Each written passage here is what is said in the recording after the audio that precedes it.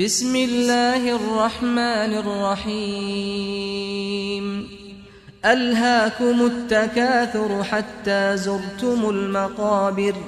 كلا سوف تعلمون ثم كلا سوف تعلمون. كلا لو تعلمون علم اليقين لترون الجحيم.